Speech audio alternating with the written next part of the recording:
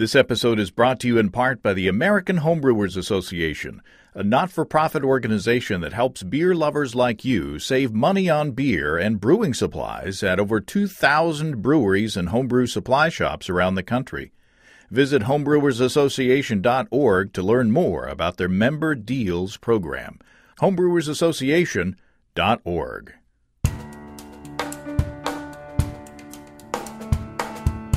Welcome to Basic Brewing Radio for Thursday, March 28th, 2019. I'm James Spencer. Here at Basic Brewing Radio, we're all about home brewing.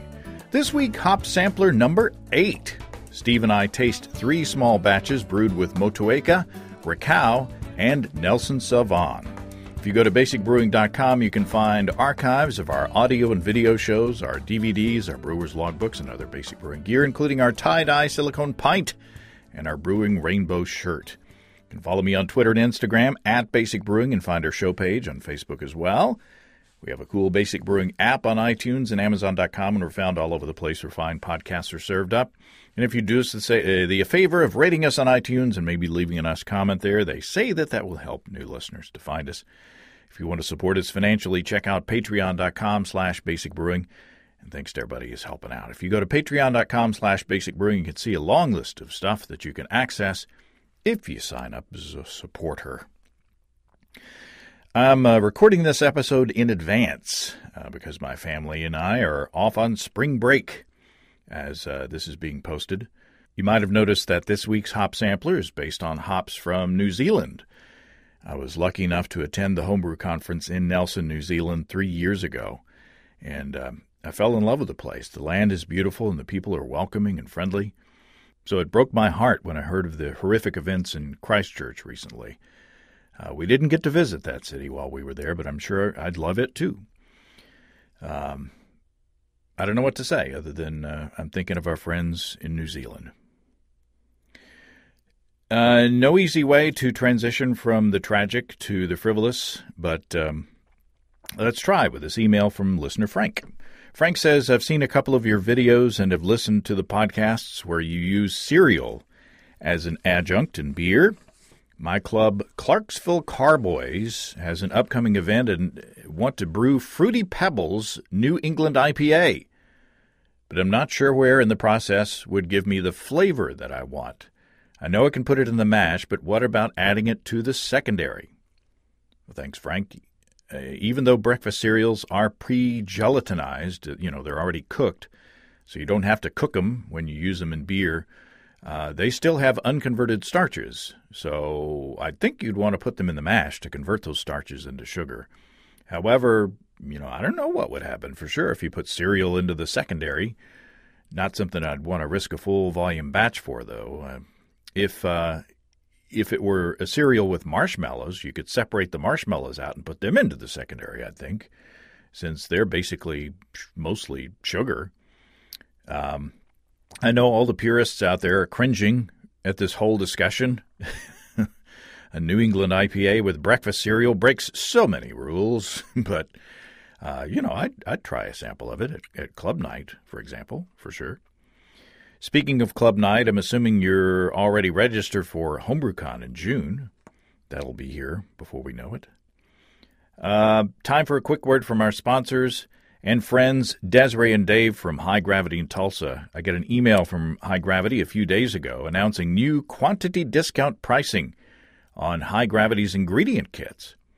You can save 10 bucks when you buy two and $20 with a purchase of three or more.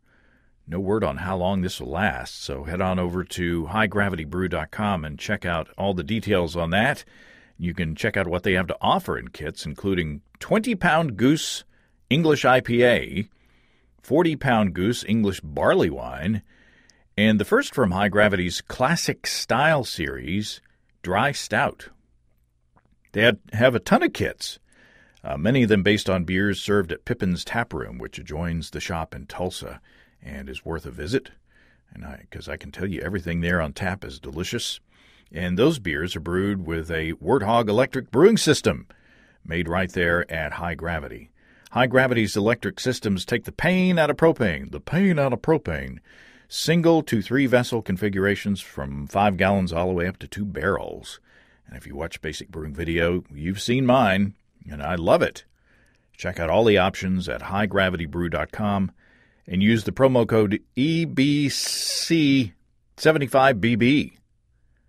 That's EBC75BB to save 75 bucks off your electric gear purchase. That's at highgravitybrew.com. Okay, this hop sampler is a little more complicated. Uh, I noticed that uh, this batch had a lack of head retention. So I suspect that that may have been the result of a contamination with something, either, you know, some kind of weird bug or or wild yeast or something. So I headed into this tasting with uh, a little bit of a trepidation. So, what'll happen? We go back in time a few weeks ago with Steve Wilkes in the studio. Steve Wilkes, welcome back to Basic Brewing Radio. Thanks, James. We just shot two video episodes, and now we're up here tasting uh, tasting hops. Yeah, you left Susan downstairs to skin the episodes. We shot them. She's got to clean them. We field dressed them, so you know it's okay. now we're we've headed down to uh, New Zealand uh, with this one, and that's the that's the only time I'll attempt the accent. Uh, we have Motueka, Rakau, and Nelson. Is it Sauvin or Savon? I say Sauvin. I don't know if I'm right, but that's how I say it. It's a wine term, right? Well, Sauvignon, like Sauvignon Blanc. So yeah, I guess. Never thought about it. Yeah. Um, but yeah, Sauvin is how I would say it. Okay. Sauvin. Uh, so we have Motueka, Rakau, and Sauvin. Nelson Sauvin from Nelson, where where I've been. I've actually seen hops like these uh, harvested. Wow. Yeah. There's a video out there on the on Basic Brewing Video. You ever watch Basic Brewing Video? I never heard of it. you only watch the shows that you're on. That's right. so we've done the hop sampler. This is a little different because we're using Briess Vienna dry malt extract as a, we're usually using the Pilsner light dry malt extract. This is with a Vienna, and so it's a little it's a little darker. Uh, it's more how would you dark deep copper? Is that what you would call it? Uh, I wouldn't call it a deep copper. I'd, um, but yeah, it goes to copper, maybe with just a hint of redness in the copper with a hint of red. I don't know. I had a hint of redness, but I got an ointment. That's right. Well, I'm glad. I'm gonna I'm gonna take a picture here real quick. Uh, pause for for uh, for social media. There we go. Um, for them, for these are all consumed. Um, so okay, now here's some background. First of all, we we sent these samples off to uh, to David Curtis up at, at Bell's Brewery uh, to have uh, their lab up there do some analysis, some IBU analysis. So we're actually going to have some numbers. Wow. On some actually actual lab measured IBUs on this thing. It's not just me, you know, talking out of my hat or whatever I do about hop stand bittering units. out of your tinseth. I'm talking out of my tinseth. so, uh, so there's that. Yeah. Then also, I've noticed, I on this batch, the head retention is just like nothing. The head just goes away. It's balder than I am. it's catching up. There's, there's nothing. There's nothing going on up there. So I think that I've got, I think that I I've got a little con- contamination of some sort in in my system, whether it's in my hose or my uh, my uh, bottling wand or my, or my little uh, my, little auto siphon. So I went to your shop and I bought all new that, and I also while I was at it, I bought a new bottling bucket and, and oh, spigot. Yeah. Because you know I don't want to risk having some kind of weird thing ruin my beers. So you know, so that these these beers are uh, headless. it's the it's the Marie Antoinette flight. Uh, too soon. Yeah, too soon. so, uh, but do you do you taste anything off or nasty? I don't taste anything off in the beers at all. Uh, They do, they don't taste infected. They don't taste well spoiled, for lack of a better word. They're not accidentally sour or accidentally barnyardy. It- it- you know, um, they're very effervescent. So you look at them and you think they're flat. They're definitely not flat. So there's but there's no head retention at all, which is just weird. So you know, maybe if there's extra carbonation and there's no head retention, you know, that may be, you know, the the extra carbonation may also be an indication that there's something else going on there that we're not anticipating. Well, I wondered about that. And sometimes, you know, with with infections, they take a while to express themselves. Mm-hmm. So you can have a beer that's very fresh and infected, but whatever bug is in there hasn't done its work yet. And so you might get away with it. You drink it real fast.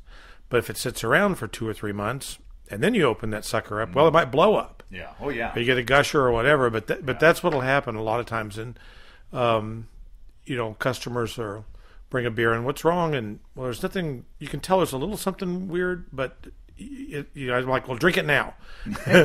Drink everything fresh. Drink, drink it really fresh. Well, I sent I sent these beers up to uh, t- set two sent two sets of samples up to David at Bell's, and he tasted one, and he sent me an email and said, "I hate to tell you, but I think this one has diacetyl." Uh, so I'm not I'm not tasting diacetyl. I don't get that at all. I'm not getting a, getting a buttery or a butterscotch flavor. So I just maybe I sent him one that was just extra contaminated. You need to invest in that bottle washer I've been trying to get you to buy. I swear I don't make. I swear I don't make contaminated beers. You could, you could tell me, tell me true, Steve. Do I do I usually may serve you contaminated beers? No, James never serves me contaminated beers. He saves those for the other guys. But uh, no, this is. We're not even sure that's the case here, but it probably is. But just in case. Yeah. Uh, so, so all that all that to preface what uh, what we have here. So it's interesting because this flight, you know, I was expecting this has a higher HSBU uh, number uh-huh. than any of the other ones since we've been measuring HSBUs. And I guess I should back up and talk about that for those of who uh, uh, new to the new to the podcast, new to the hop sampler. This is our eighth one. What I do on these things I, is I take one pound or 450 grams of malt, dry malt extract, and I put that in three quarts or three liters of water, and I bring it just up to the boil. You know, the water starts to bubble, and and it's usually like 209 degrees Fahrenheit on my thermometer here at this altitude. Then I shut off the uh, heat. I put in the hops and I set it aside for 30 minutes off the heat, and then I chill it down in an ice bath, and I pitch three grams of uh, Safale US-05 and ferment, and then bottle using one carbonation drop per bottle. So that's that. Um, so in this batch, I used a full ounce of Motueka, which is 6.5% alpha acid. And then uh, Rakau and Nelson Sauvin have higher alpha acid levels, so I pitch those proportionately uh, after that. So I have 17 grams of Rakau at 10.6% alpha acid and 16 grams of Nelson Sauvin at 11.6% alpha acid. And the way I figure uh, HSBUs is I take the alpha acid percentage, I multiply it times the weight in ounce.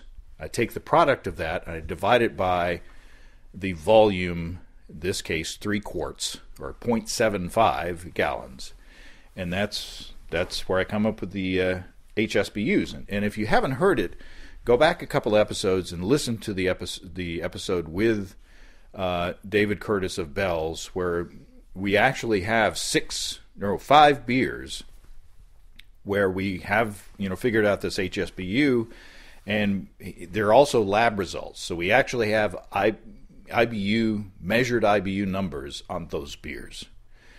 So um, it's an interesting concept, and it's this. Uh, the reason I, that I that I made this so high is because I wanted to see if we could reach a bitterness level that we find too bitter. You know what I'm saying? Mm-hmm. Um, these are not too bitter, but but they're moving in that direction. Mm-hmm. For me, yeah, they they've all got a substantial, uh, very bitter back backbone to them. Mm-hmm. Um, not undrinkable beers. I do have a favorite, which I won't mention at the moment. I am getting different hop character from each beer, but it's much more subdued than I was expecting. Um, have no idea if that has to do with the head retention problem that we've already discussed, if it has to do with the Vienna malt perhaps being a little more assertive, and so therefore hiding the hop character a little bit. Um, the bitterness levels in all three of these, or between the three of them, I think are very similar. So it tells me that the formula that you're using, again, is correct, meaning we're, we're shooting for kind of a level playing field in terms of its perceived bitterness, and we definitely you definitely got that accomplished. Mm. Um, and uh, again, there are differences in these, uh, but I'm with you. I almost want to go back and do this again with the Pilsner malt, just because we've had so much uh, success in the in in really tasting the, malt, the hop character. These these are much more subdued. Mm-hmm. Yeah, I think the the malt backbone to me is is a little more caramely. Definitely. You know, in the other ones it was like nice and bright and clean, and the the malt, while it was present, it didn't get in the way. Uh huh.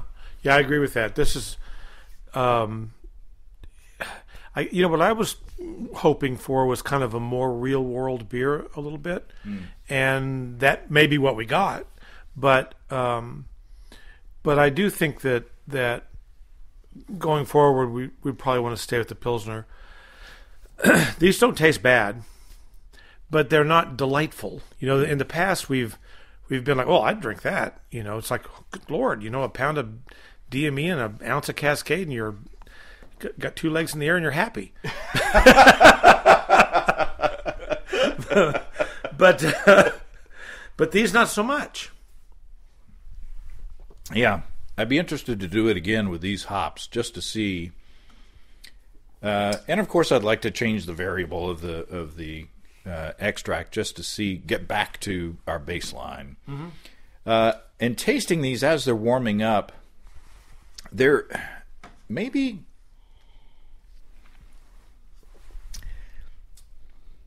maybe there is there is there a, a little plasticky are you detecting a little plasticky flavor coming through now? A little bit. As soon as yeah. you said that word, I was like, yeah, yeah, yeah. Yeah. So, um, may, so maybe there is some kind of a contamination going on here. So we'll probably. I do want to do a redo because, uh, you know, I want to see if we can get the foam back in my world. and we did. Uh, we did taste uh, my my Brett uh, Golden Ale, uh, which did have you know a, head on it, and right. my my uh, two hearted clone, which is coming out of the keg, yep. which definitely has a good head on it, and yeah. it sticks around forever. You could shave with that. So, yep. uh, you know, my world is not completely ruined by by this thing, which to me uh, and and I and I and I did these beers before I did the Brett beer, so I think okay. so it's not Brett. I think we could definitely taste it if it were a Brett uh, contamination, but that's not. There's not Brett. This is, this doesn't t- taste like Brett. Um, so I guess we could just go ahead and and and proceed as we normally do. Sure. Uh, just talking about these beers and and you know it's a it's a learning. What do they say? A teaching moment you know that that it's not it's not what you, it's not never having an issue with your process, but it's what you do when you do find an issue with your process and being able to identify it. Sure. Yeah, absolutely. Well, again, the the beers are are not they really don't taste off to me. They're just um, the, the hop character is not as present as I was expecting, and I, and again, I don't know if that's because of the malt. Um, the malt character comes through pretty strongly. Gosh, I, you know, I just I'm kind of out of adjectives for it. I think that I think that the um, I think I was just expecting brighter, juicier hop flavor, and they're just kind of bitter Yeah. to me. There's just they're just bitter. Yeah, usually we're just like, oh my God, fruit salad and citrus and grapefruit, and we're just like bowled over, mm-hmm. you know, by the character of the of the hops, and and especially with the amount of, of alpha acids that are in the the amount of hop stuff Right. that that are in these beers, we should just be, you know, bowled over by these things. Well, of the three, one of them actually has a pretty good hop bouquet to me. None of them have the big hop bouquets that I was kind of expecting, and um, and I've brewed with all three of these hops before, so I have some sense of what they what they can be like. You know what they're like successfully, though I. You know, you can't remember that from moment to moment necessarily, but I but I have used all three and been very happy with the results. We use uh, the Motueka in our New England IPA that that my son and I brewed, and we don't sell it as a kit or anything, but just it's just our recipe. And we used a lot of Motueka in it, and it was great. And it was big and juicy, and you know had tons of layers of hop flavor. And I don't, I was expecting that, and I'm not getting it. This is this is going to be posted the last week of uh, March. So, have you thought of your what? You're talking about kits. Have you thought of your your your kit of the month for April? No, Maybe maybe by the end of the show you'll you'll uh, think of it. Well, I, yeah, I've been trying to think about you know summer brewing, spring brewing, and actually, now that you mention it, I'll announce it right now. Okay. because I did have a thought today about it. I think that it's not going to be the the beer kit of the month; it'll be the beer collection of kits for the month. The lawnmower series pale ales. So we start off; they're they're dedicated to lawn. They're lawnmower beers, except we have the Pushmore Blonde, which is light, easy to move. then you've got the lawn tractor pale ale. If your lawn's a little bit thicker, you'll need this beer. Then we move up to the zero turn IPA. it's for those difficult to reach places. And finally, if you live somewhere like I do, you'll want the Brush Hog Double IPA to cure those those uh, vines and uh, nettles that are in your pasture. So those going to be on special in April? They're going to be on special. I'm going to put them all at 25% off. Oh my God! Yeah, and you can get, uh, you know, I'm trying to get all the beers written as all grain and extract, and some of them as partial mash. Um, I'll try to have them all in all those formats by then. Right now, I think they're all just in extract beers, but there's, they're, but they're easy to to make. You know, they're all recipes I've made for years, and uh, they're really nice beers. They're really nice American, straight ahead American pale ales. They just they're the same family of beers, so they go from little baby beer to really big beer, and they're and they're very tasty. So that'll be the the beer of the month. There you go. At stevesbrewshop.com. All right. So what do you think? What are, what are your thoughts on beer number one? Hang on.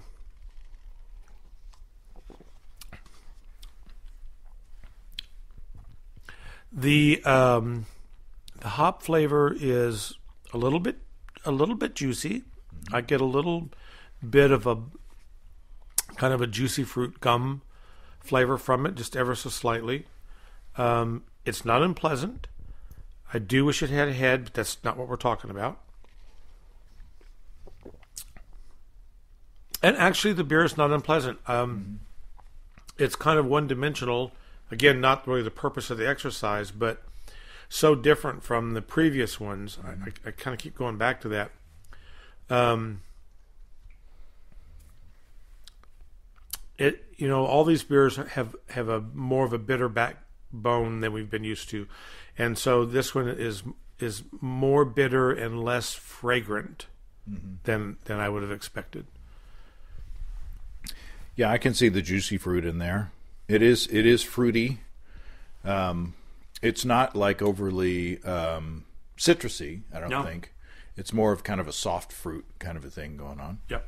It's kind of that peaches and mango and um, just ripe, you know, ripe melon maybe. Yeah. a little bit. Yeah. So, do you want to read the first? What's the first time? yeah, Wait, I okay. stole these from hopslist.com. And I've kept them on a mayonnaise jar in Funk and Wagnalls' porch since noon on Wednesday.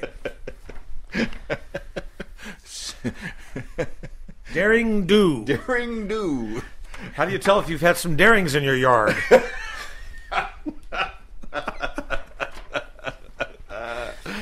okay. What, what, what is the first hop on the list? Motueka. Gesundheit. I think that's how you pronounce it, but I don't know. That's how I say it. Motueka. Someone correct me. as I'm sure you will. Formerly known as Belgian Saaz or B-Saaz. Ooh.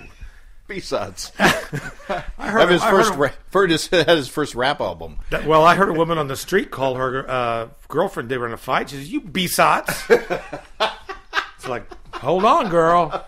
Don't you go there. Two snaps in a circle. Two snaps in a circle. Hated it. Motueka is a premier New Zealand hop developed by Hort Research. I thought that was a long German word for a minute. Hort Research. This triploid, triploid was bred from Saaz and an unnamed New Zealand breeding strain and lends itself well to lagers, pilsners, and Belgian ales. Hmm. It makes an excellent dual purpose hop, carrying an exciting fruit aroma with refreshing notes of tropical fruit and citrus. It can be used at any point during the brewing process and works well in sweet, malty, and fruity beers. Huh. Massachusetts brewmaster Jack Jack uses We just know him by Jack. we just know him as it's just Jack. Uh, uses Motueka in a Maibock, and Sierra Nevada Brewery also debuted their Southern Hemisphere Harvest fresh hops in April 2014, using Motueka along with Southern Cross as its finishing hop. Okay, Southern, yeah, get it. I was thinking Southern Cross might be another brewery. It's a hop. Uh, so okay, so fruity, uh, and that's exactly how I think of it as kind of malty, sweet, fruity style beers. Cool. Motueka. Motwika. That's right. Maybe that's a Maori word. I think so. Yeah. Uh, as is probably Rakau. All right. So that's Okay. the first hop and the first beer, maybe unrelated. this Exactly. is this is the uh, the second uh, the second beer we're tasting now. Number two. Oh my, that's that's a lot more present. There's a lot more fruit there. Yeah. Boy, there's a lot. It's a big. It's a much bigger. As these beers have warmed up, and maybe, maybe as my my tongue has become uninfluenced by the Two Hearted Ale clone that we that we drank before we started drinking these. Uh, boy, that is big and juicy and That's pretty. actually pretty good. I, I like that one. Um, and yeah, it's just over the top. And you're right, as it warmed up some, becoming much more fragrant. And I'm not getting the plasticky off flavors. I don't know. Maybe I'm just. Maybe it's these Dollar General cups we got. they were on sale. And they were in the bargain bin. they might have been used before. I'm not sure. Get one free with every half pint of pop off. There was a cigarette butt in one of them. Was it lucky? not for me. Okay. Oh, well, wait a minute. Mm. Bigger, fruitier. Mmm. Um, still not like a citrus bomb. Still not like grapefruit. Uh, but big. Maybe. Ch- I was going to say cherry. yeah, cherry, or just kind of a stone fruit Yeah. thing going on there. Yeah. Um, it's actually pretty good. yeah. I, I like that actually. Yeah, Yeah. I, I do. Okay, so hop hop number two. Rakau. Gesundheit. Rakow Welch was one of my favorite. when I was a boy, oh, the stories I could tell. but I won't. Thank you. Rakau, or Alpha Aroma. That's what Oh. she drove, you know, was an Alpha Aroma. one of those one of those Italian movies. Raquel Welch was driving around in an Alfa Romero. She br- drove under a Lola Brid- Lola de- Lola. Never mind. okay. Lola La Brigida. Lola La Brigida. Um, Raquel or Alfa Aroma, as it Alfa Roma, has sounds like bad spaghetti. That's that's when you know Alpha's been in your yard. That's right. Alfa Roma. Ooh. How strong was that two egg? Um, Alfa Roma, as it was previously known, was developed in New Zealand, languishing in its disease free habitat. That's literally the sentence that's written here. I'm sorry. I hope you copied and pasted this. I did. Okay, because if you wrote this copy, you're in trouble. Languishing in its Next time I'm going to sneak stuff in. Oh, wait, that's a comma. Languishing in its disease free habitat, Rakau features a high concentration of myrcene. Is that right? Mm-hmm. Myrcene is said to pair it beautifully to dry hopped American pale ales. Okay. It, is an, it was initially bred in the late 1970s from Smoothcone. I loved his first album. From Smoothcone, although open pollination, through, through open pollination, but it was not released to the market until 1983. It was re released under the new name in 2007. According to New Zealand Hops Limited, Alf Aroma, wow, that's hard to say. Alf Aroma no longer exists as a commercially named variety. Despite that, it is currently being grown and sold under its old name by Dutchess Hops of New York, who planted it in the U.S. in 2013. Ah. So if you get Alpha Roma, it's it comes from New York. Yeah, I've never seen Alpha Roma. I've never heard of it. Yeah. Okay. Interesting. Hmm. So so what are the adjectives that uh, that we're looking for for Rakau? Uh, gosh, you know what?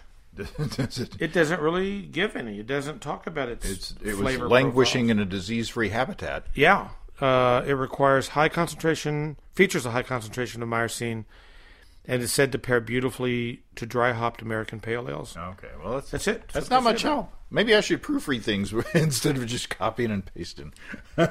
You were languishing in a disease-free environment, I'm sure. for for the moment. okay, all right.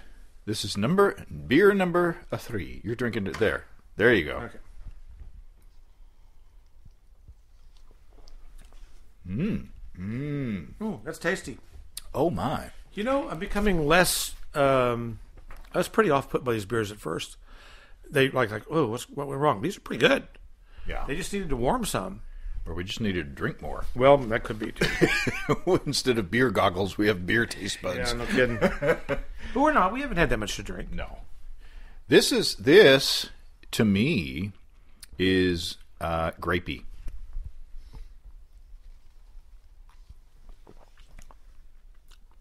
Yeah. Oh yeah. I don't mean to lead you, You're. I'm right there with you, trooper. but it has also um, a good bitterness backbone as well. Yeah, it's kind of. Um, there's a little bit of dark spice in it. Um, I don't know what else to say about it. It definitely reminds me of wine, and it. Yeah. Yeah. Yeah. So that's interesting. I hope we're not wrong, because it because that sure is. That's sure where I'm getting going. Well, the none of these is like a big, juicy, grapefruity, citrusy American hop. No, not at all. And um, and by the same token, they're also not that kind of floral, um, herbal, n- noble hop Yeah. either. Yeah. They're they are they are different altogether, and that would make sense. Yeah. Wow, Interesting. I just had an epiphany. Yeah, I'm I'm feeling better about this round. I thought I thought that this was good. Pardon me. I thought that this was going to be in in the scrapyard of. I mean, I was going to air the show, but I was going to be like apologizing for it to be a complete loss. But this is not. I th- I No. think that That's maybe our taste buds are. I, I I have confidence in our taste buds. I do too, and I I just think I you know when you first poured them they were very cold, and we had come off of drinking that um, two hearted clone. Yeah, very fresh Centennial hops. and they were very, very fizzy. No head, Yeah. but they were very, very fizzy, and that's why we had the discussion about contamination or whatever. They've settled out now. The flavor is the malt is coming through in a nicer way, and they're it's playing better with the hops. They were just too damn cold. and fizzy. And I think fi- fizz uh, can can have a bitter, Yeah. you know, acidic kind of character to it. Yeah. So now that they've had some time to breathe, I'm a lot happier with them. Um, and- What's your what's your impression of the of the malt character now that they've settled down? Well, it's it, it it's a little bit caramelly as you would expect with Vienna malt. Um, it's actually it's actually nice. I, I actually actually like it. Um, you know, it, it's not as it, it's not uh, you know Vienna is a is a good specialty malt in the U.S., but you know I've brewed a lot of beers with just Vienna as the base malt, and then a little bit of other specialty malt in it, and um, and I've always been real happy with the results. This is a little bit caramelly, a little bit um, toasty, and um, so other than that, you know, it's it's a pale malt. I th- well, I think I think Vienna is excellent for like a malty lager. You know, and maybe it just doesn't pair as well with you know hot these really fruity hop forward beers. Well, that could be. That's that's absolutely a, that's a good hypothesis. Gesundheit. okay, so did we do the Okay, we third did- hop? We needed to finish out with the hop descriptions. This is Charles Nelson Savan Riley. oh. okay. Nelson Savan, or Savin. Nelson Sauvin's name is derived from the Sauvignon Blanc wine grape, to which many agree has similar flavor and aroma characteristics. Developed in New Zealand and released in the year 2000, it is considered too wild for many major brewer, brewers. Wow. Huh. Let me say that again. That's it is considered too wild for many major brewers. Despite this, Nelson Sauvin has found significant use among craft breweries and home brewers for its eccentric characteristics. The variety has gained popularity in American style pale ales, but is definitely a hop that requires prudent and discerning application in brewing. Nelson Sauvin's oil profile is complex and fortunately works well as an aroma hop, flavor hop, and also for bittering. Low cohumul oh, God, I can never say this. cohumulone, Yes. yes, is responsible for its smooth bittering qualities. It is descended from Smoothcone, huh, Just as, as uh, was Rakau. Yeah, there you go. Very interesting. Well, that's. I- have brewed with this before, but not a lot, so I don't have a lot of experience with it. But, but uh, yeah, so I think, I think one of them is the Nelson Sauvin because Yeah, I yeah. definitely get a strong wine Yeah. character from it. Yeah. Okay, so now I we have I'm gonna I think we have the bittering numbers here. Nice. I think we should we should make our guesses first, and then and then I'll see if we can figure out. Or should we should we try to figure out which one we think? Well, let's just go ahead and do this way, Okay. uh, and then uh, I I have an advantage because I know which one is the most bitter. oh, okay. So Final okay, tasting. yeah, final tasting. Hmm, these actually are tasting pretty good now. Number one is delicious.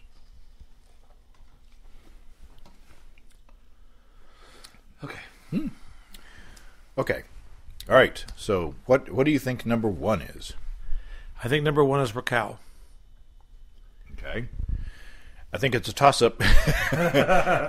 I'm just just for just for argument's sake, I'm going to say it's Motueka. Okay. And number two? For argument's sake, I'm going to say that's Motueka. Okay, and then I'm going to say that's Rakau. Okay. I think we're both agreed that number three is Nelson Sauvin, right? yes, number three, well, I, I obviously, think is Nelson said. Sauvin. Okay, so why don't you open Okay. uh, un- unmask number three first? Oh, by the way, we've been tasting these blind. I didn't say that. I don't think. Yeah. What's number three? Nelson Sauvin. Nelson. Yay! Yay! Yay! We re-. I really did get that grapey characteristic. Yeah, it came through very strong. Yeah. And while I think that's pretty good, I would like to. Now I want to play with that beer in a really light, crisp saison style beer. Oh, I think it would be delicious. Yeah. Number two is Motueka. Toika. What did I say? You said it was Rakau. Okay, you got it. I got it. You I got, got all three. right. Holy! Woo! High I- five. Did I win the new seasonal sectional? The one, the one from La-Z-Boy. You got you got that freestanding uh, metal enameled uh, fireplace. Remember those from Yeah. Wheel of Fortune? Yeah, that's right. Wow! Congratulations. That's a first. We, on the on the hop sampler, you got all, I got all all three right. right. Wow. Woohoo! All right, now, all right, now you get to go to the bonus round Okay. because This is where I get that oven heat. When you can't afford real heat, you get oven heat. No, know what I'm saying? no. okay, now Okay.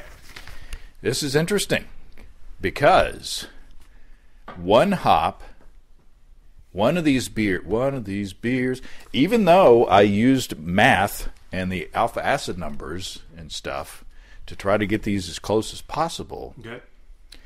one of these beers measured at 56.8 IBUs, thanks to thanks to the lab at at Bell's Brewery. Uh, this these are official. This is official science. Okay, one of them measured out at 56.8 IBUs. Another one 37.4. The other one 38.1. Wow. So one is is not twice as much, but significantly measured more bitter than the other two. So, which one can you pick out one that's that's and I don't I'm not sure that I could have done this, but can you pick out one that is significantly more bitter than the other two? I think I can. Said the little engine that could. That's right. The little lush that could. I, I think number one is the most bitter. The Rakau. No, number one is the Rakau. Yeah. The Rakau weighed in at 38.1. Oh. Well, 38.1. Okay. So, All right. um, So it's between the Motueka and the Nelson. then I'd say it's the Motueka.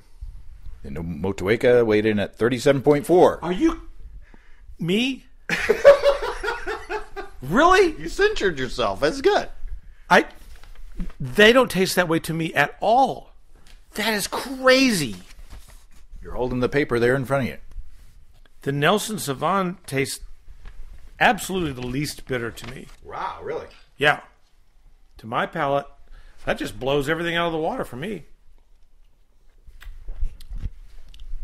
I don't get anywhere near the bittering in my palate. That's crazy.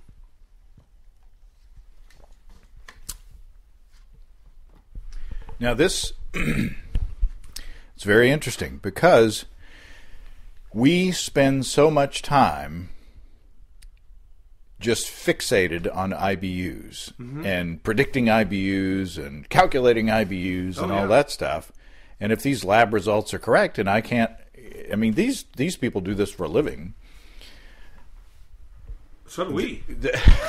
well, Not not in the same but, way. but they know what they're doing. Well, that's true. they got that going for them. But, but what else? They wear lab coats and hairnets, maybe. oh yeah.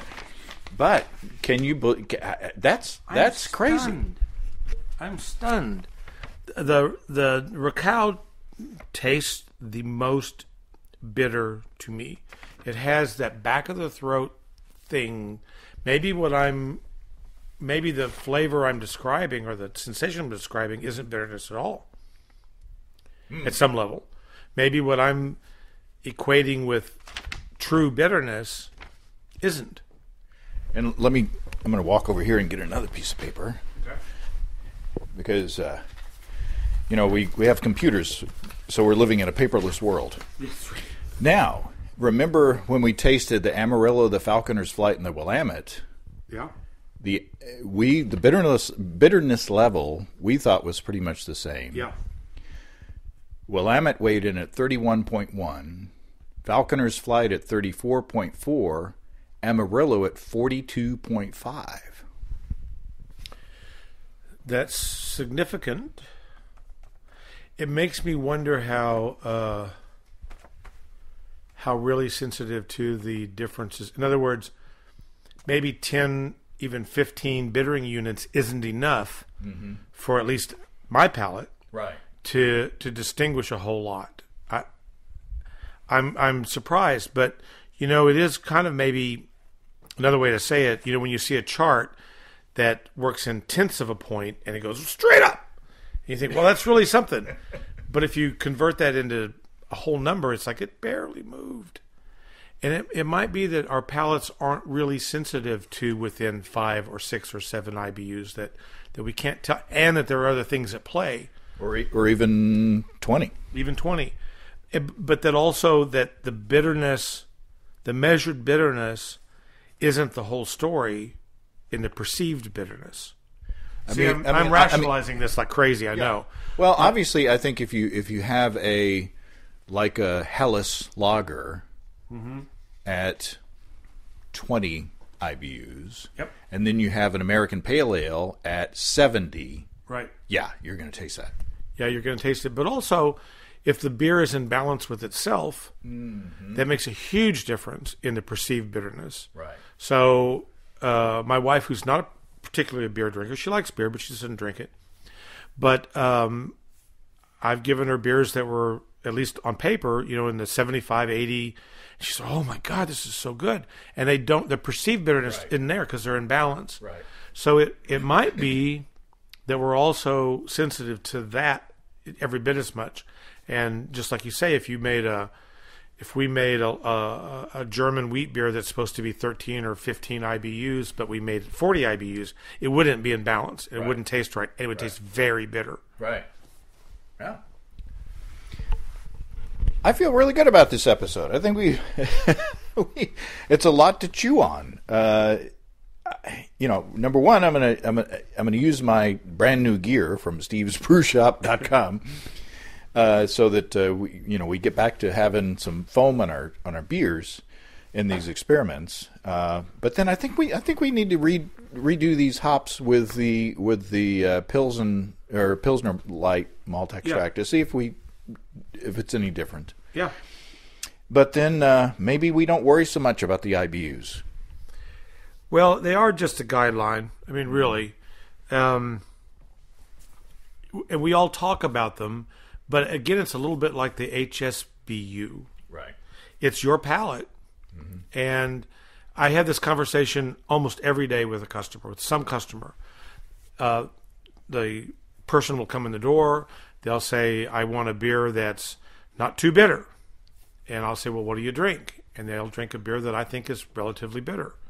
And I said, Well, what does that mean? What do you, you know? And so if you've never, if you don't have anything to compare it to, in other words, you haven't sat down and had a glass of beer together mm-hmm. and agreed upon what's bitter or not, it's a very difficult discussion to have. Mm-hmm. If I'm talking with an experienced home brewer, I can say something like, well, this is a, a German wheat beer and it has 15 IBUs. And we both have a sense of what that means. But, um, wow, this is kind of, this is crazy because I expected to be able to pick out the bitter beer Yeah. pretty easy. Yeah. yeah. Really, really pretty stunned at that. Me too. All right. To be continued. Yeah. Thank you, Steve. Thank you, James. Once again, thanks to Steve. We are thinking of our friends in New Zealand as they work through some painful times down there. Uh, on a lighter note, Hop Sampler 9 is in the fermenter with Galena, Denali, and El Dorado, or as we say around here in Arkansas, El Dorado. So stay tuned for that. In the meantime, if you have brewing questions, show suggestions, or just want to say howdy, write to James at basicbrewing.com or just fill out the contact form at basicbrewing.com. And please don't forget to tell us where you're from. Thanks to everybody supporting us through our Patreon page. Special goodies coming your way. Check all those out at patreon.com slash basicbrewing. Be sure to check out our DVDs, Extract Brewing and Partial Mashing, Stepping into All Grain, Low Tech Lagering and Decoction Mashing, and Introduction to Wine Kits. You can find them all on our site. Get a free Basic Brewing bottle opener with any DVD combo, and you can check out our Basic Brewing shirts in the store too. You can find our logbooks where you can track and log up to 50 batches of beer. Check all those out at basicbrewingshop.com. Also, take a look at our silicone pints while you're there. So until next time, until then, thanks for listening, everybody. I'm James Spencer. Production help for Basic Brewing Radio and our website is provided by Kelly Dodson. Basic Brewing Radio is a production of Active Voicing. We'll talk to you next time, everybody. So long.